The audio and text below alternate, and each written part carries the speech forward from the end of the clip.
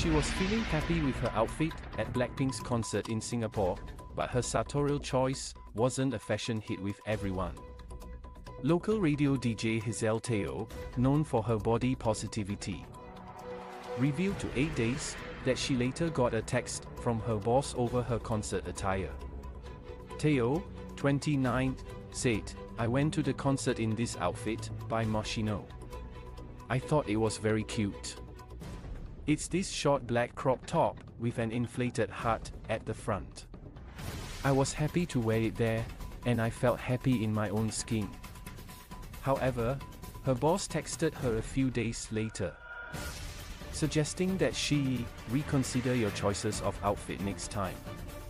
Teo inquired whether the remark was due to the outfit itself or the way she shot her photos and videos at the concert. Her boss then said she should consider the station's image and Teo apologized for overlooking that.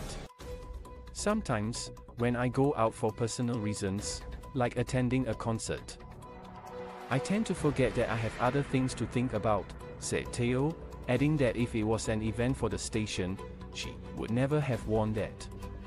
That said, Teo doesn't feel like she's restricted.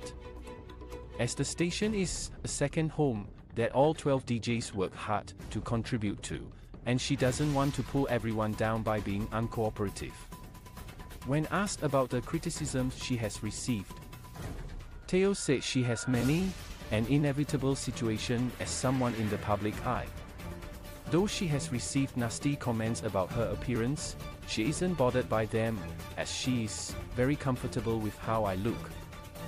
What weighs on her more is when she receives feedback about her command of Mandarin not being up to PR. She clarified that she doesn't see it as a personal attack, and it's something that will make me reflect very hard on myself. Teo said to 8 Days, it is a form of criticism, but it is actually constructive. It makes me think about the things I say on air to make them leave that comment. I'm hard on myself when it comes to performing well.